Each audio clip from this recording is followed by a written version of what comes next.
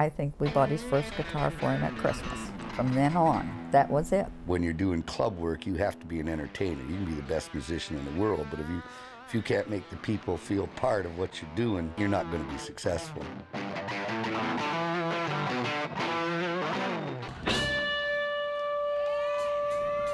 I'm not looking at doing what I do this week.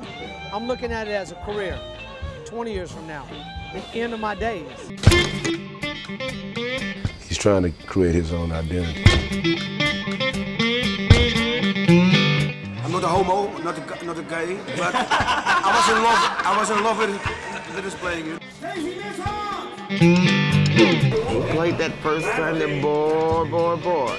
Unbelievable. Are you black? No. Oh, are you black? Black. I still haven't reached my goal, so I still want to succeed. I'm damn determined to, to just keep moving on.